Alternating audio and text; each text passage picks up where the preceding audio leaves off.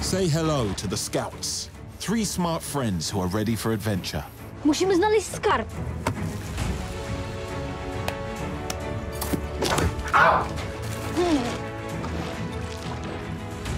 But who's this? Are they friend or foe? The answer hides in the next chapter.